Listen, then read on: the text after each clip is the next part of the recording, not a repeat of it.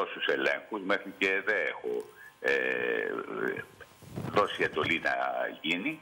Οπότε εγώ έτσι το αντιμετωπίζω. Δηλαδή ευπρόσδεκτος ο έλεγχος. Πάντως εδώ, ε, πάντως εδώ υπάρχουν και γερμανικά δημοσιεύματα, βλέπω σήμερα στα site και στον τύπο, τα οποία μιλάνε για κάποια σκάνδαλα και για κάποιες αναθέσεις σε ό,τι αφορά τη σύντηση των προσφύγων στα hot spots. Για χαριστικές, ε, για χαριστικές αναθέσεις οι οποίες έχουν, έχουν γίνει. Όλες οι συμβάσεις σε σχέση με τη σύντηση, ε, τις οποίες κάνει συνήθως το στρατός, στο Υπουργείο Εθνικής Άμυνας, δηλαδή και όταν λέω στρατός και τα τρία σώματα ανάλογα με το ε, hot spots το οποίο έχουν την ευθύνη ή το κέντρο φιλοξενίας είναι αναρτημένες.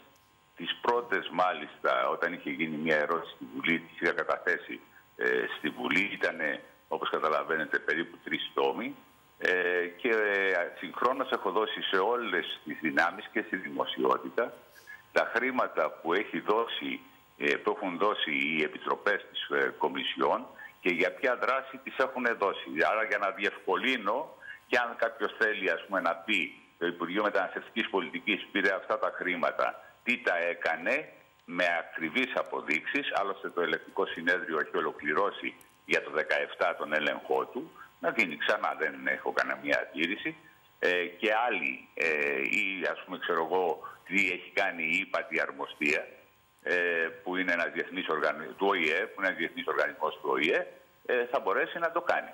Μάλιστα. Δεν, δεν έχω δηλαδή, σας λέω για τον έλεγχο, ε, δεν έχω και δεν έχουμε κανένα πρόβλημα είτε σε επίπεδο κυβέρνησης, είτε σε επίπεδο υπουργείων, είτε σε ατομικό επίπεδο. Κύριε Υπουργέ, ο έλεγχος αφορά το δικό σας Υπουργείο ή κυρίως το Υπουργείο Εθνικής Αμήνης; Ε, καταρχήν ο έλεγχος, ο προκαταρτικός έλεγχος που θα κάνει η εισαγγελία αφορά όλα τα κονδύλια και δεν αφορά μόνο το Υπουργείο Εθνικής Άμυνας, και αφορά και το Υπουργείο Εθνικής Ανάπτυξης και το Υπουργείο Προστασίας του Πολίτη και το Υπουργείο Υγείας, δηλαδή όποια κονδύλια και πρέπει να αφορά και την ύπατη αρμοστία, τους γιατρού του κόσμου. Σας λέω ορισμένα. επειδή διαβάζουμε κυρίως για το Εθνικής Άμυνας που ήσασταν και εσείς πριν. Για, την διαχείριση, δηλαδή. για την διαχείριση, γιατί είπατε προηγουμένως και εσείς ότι ανάλογα το hot ε, spot έχουν την ευθύνη τη διαχείρισης των κονδυλίων για τη σύντηση. Βέβαια υπάρχει τώρα και μια δήλωση του γραμματέα ο οποίος παρετήθηκε, ο οποίος λέει να που δικαιώνομαι τώρα για αυτά τα οποία έλεγα. Θέλω να σχολιάσω σας. Το, το ένα πρόβλημα δεν παρετήθηκε. Το δεύτερο ζήτημα είναι ότι έδωσε μια συνέντευξη αφού του ανακοίνωσα εγώ προηγούμενα ότι θέλω να λυθεί η συνεργασία μας και να επιλέξει ο ίδιος από σεβασμό το έκανα αυτό τον τρόπο Άρα τον, ε, τον αποπέμψατε, τον διώξατε κύριε ε, Ακολουθούνται όλες οι νόμιμες διαδικασίες. Ακολουθούνται όλες οι νόμιμες διαδικασίες. Ε... Και όλα αυτά που έχω πει και θα ακολουθηθούν οι νόμιμες διαδικασίες. Κύριε Υπουργέ, διαβάζουμε σήμερα ότι οι Τούρκοι ε, ναι. σταμάτησαν να φυλάνε τα περάσματα στον Εύρο και ότι οι πεζοί έχουν περάσει το τελευταίο διάστημα πάνω από 12.000 μετανάστες. Ε, εντάξει, αυτός είναι σχεδόν υπερβολικός ο αριθμός, αλλά είναι κοντά όμως στην αλήθεια και μιλάμε για το χρόνο, όχι τώρα τελευταία. Από την πρώτη πρώτη το τελευταίο διάστημα. Ναι, ναι, ναι, για το τελευταίο διάστημα. Το 2018 ε, είναι περίπου 11.000 που έχουν περάσει από τον Εύρο, δηλαδή έχουμε διπλασιασμό σε σχέση με το 2017. Mm Είναι μεγάλο θέμα αυτό. Αυτό είναι μεγάλο γιατί είδαμε και τις εικόνες στην πλατεία Αριστοτέλους.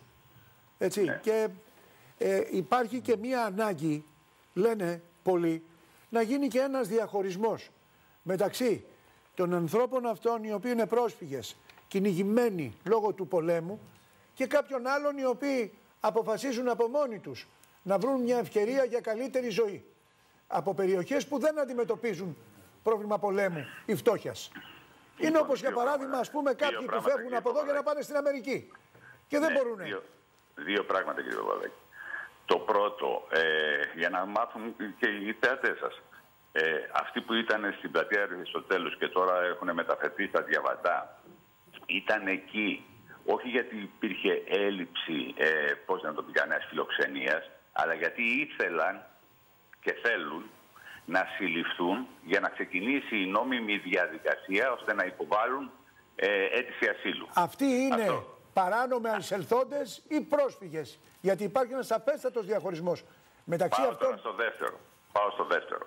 Ε, όλοι χωρίζονται σε πρόσφυγες και σε παράτυπα εισελθόντες, αφού όμως έχουν μπει στη χώρα και έχουν κάνει ή δεν έχουν κάνει, συνήθως κάνουν όλοι, αίτημα ασύλου. Το αίτημα ασύλου εξετάζεται, εκρίνεται αν είναι πρόσφυγες ή την χάνουν διεθνούς προστασίας ή απορρίπτεται. Και με βάση την κοινή δήλωση Ευρωπαϊκής Ένωσης Τουρκίας ή επιστρέφονται στην ε, Τουρκία, κατά κύριο λόγο Σύριοι, ή επιστρέφονται στις χώρες καταγωγής τους. Βέβαια είναι μια διαδικασία Η πάρα οποία πολύ δεν ολοκληρώνεται χρονοβόρα όμως. Και πάρα πολύ δύσκολη. Έτσι. Και πάρα πολύ δύσκολη γιατί και οι χώρες οι υπόλοιπες αλλά και η Τουρκία Αυτό το ακούμε με λίγο δυσπιστία, ιδανικά, με αλλά δεν δυσπιστία φαίνεται το να αντιμετωπίζουν. γίνεται ιδανικά τελικά. Άλλοι κλείνουν σύνορα. Μα Βλέπετε εγώ τι σας γίνεται λέω, στην Η Ιταλία. Γερμανία. Ξέρετε κύριε Παπαδάκη, κάναμε με τη Γερμανία μια συμφωνία το καλοκαίρι. Ε, αυτή η συμφωνία ήταν όσοι συλλαμβάνονται στα γερμανοαυστριακά σύνορα και έχουν περάσει από την Ελλάδα μετά την 1η Εβδόμου του 2017 μπορούν να επιστρέφονται στην Ελλάδα. Ξέρετε πόσοι έχουν επιστραφεί μέχρι τώρα; Πόσοι; Δύο. Πόσοι; Δύο. Δύο. Αριθμός δύο. Μάλιστα. Το θέμα είναι ότι έχουν μπει και 12.000 όμως Εδώ από είναι. τα Αλλά σύνορα Σαν έχουν αρκετοί. μπει μέχρι στιγμής 12.000 που δεν ξέρουμε πόσοι που από αυτοί δεν αυτούς μπορούν να γυρίσουν πίσω. είναι παράτυποι ή είναι έτσι. και το κακό είναι ότι Επειδή αυτοί οι κάποιος άνθρωποι. πρέπει να, ή επειδή κάποιος πεζοί, πρέπει να υπερασπίζεται ή τέτοια πεζοί. τα δικαιώματα. Ξέρετε, όλων πεζοί των περνάνε ανθρώπων. τα σύνορα. Περνάνε τα σύνορα πεζοί. Και παραδίδονται Υπάρχουν και οι παράνομοι διακινητές. Είδατε το περιστατικό της Θεσσαλονίκης Μα, τελευταία; ε, Καθημερινά το ζούμε. Έτσι. Καθημερινά το ζούμε. Δεν είναι, ε, ξέρετε, ε, όσοι είμα- εμπλεκόμαστε σε μια πολύ βαθιά και δύσκολη καθημερινότητα στη διαχείρισης του μεταναστευτικού προσφυγικού, μπορούμε να μιλάμε και αρκετά έγκυρα. Και Μάλιστα. λέω όχι ότι οι άλλοι μιλάνε, ξέρω Να εγώ, μείνουμε, δεν μιλάνε κύριε σωστά. Υπουργέ, να Αλλά λέω μείνουμε. το εξής. Αυτοί μπήκαν.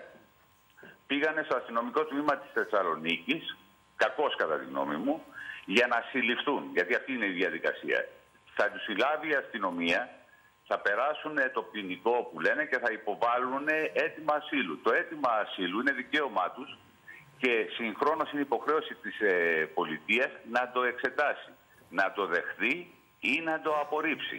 Και εδώ και, θα, και με αυτόν τον τρόπο θα Μέχρι γίνεται ο τότε όμως, διαχωρισμός μέχρι σε ότι το- πρόσφυγες, σε πρόσφυγες και άτυπους, ε, ε, και άτυπους ε, Μέχρι τότε μετανάστες. όμως αυτοί οι άνθρωποι Παράδειγμα. θα γυρίσουν όλη τη χώρα με ένα χαρτί στο χέρι που λέει ότι περιμένουν την ικανοποίηση του αιτήματος και Ναι. θα γυρίσουν για να βρουν κάπου να μείνουν ολόκληρη ζώντας τη και χώρα. αυτοί σε Και το άθλιες ξέρετε κι εσείς συνθήκες, έτσι. πολύ καλά αυτό ότι συμβαίνει. Αυτό που συμβαίνει πάντως συνήθως είναι σε όλη αυτή τη διαδικασία τους φιλοξενούμε σε ε, σπίτια ή σε κέντρα φιλοξενίας ώστε να ολοκληρωθεί η, η Μάλιστα. διαδικασία. Το ίδιο γίνεται και στα νησιά που η διαδικασία είναι η ταχεία διαδικασία, η πιο γρήγορη, αλλά οι μεγάλες ροές έφεραν υπερφόρτωση στη Χ- στην ε, Λέσβος, στη Σάμο Μάλιστα. και στη Κύριε Χίο, Υπουργέ. που προσπαθούμε τώρα να την απαλύνουμε. Κύριε Υπουργέ, παραμένουμε με ενδιαφέρον το, έρευνα, το, το αποτέλεσμα της προκαταρκτικής ε, έρευνας που έχει διατάξει η εισαγγελέας του Αριού Πάγου, η κυρία Ξένη Δημητρίου. Α, και θα είμαστε εδώ να τα ξαναπούμε αν χρειαστεί. Σας ευχαριστούμε πάρα Εγώ. πολύ. Σας ευχαριστούμε. Την καλημέρα μας. Την καλημέρα μας. Λοιπόν, έχουμε μεγάλη συντροφιά που θα μιλήσουμε για πολλά και διαφορετικά.